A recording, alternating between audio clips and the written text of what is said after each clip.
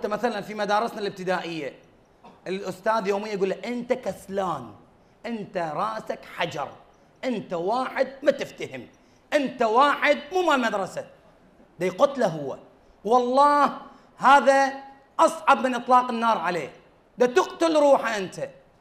ولكن إذا قال له ابني الله يبارك فيك حبيبي روح اتعب شوية روح اقرأ ابني لا تروح تسهر منا ومنا روح على الأمور الجيدة يطي روح. شوف اليوم الثاني شلون يجي.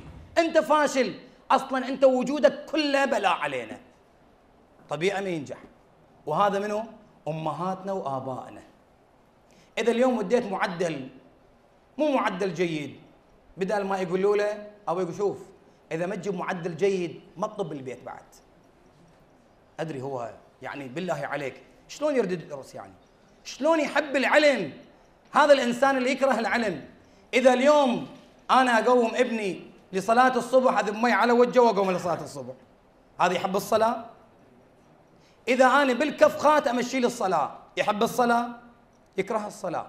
ولكن بكلمة الحلوة بالأسلوب الصح. هو القرآن يقول كلمة طيبة. هو القرآن يقول وجادلهم بالتي هي أحسن.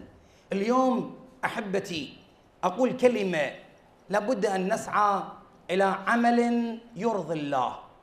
يرضي الله تعرف شو وقت الله يرضى عنك؟ إذا ضميرك رضى عنك وجدانك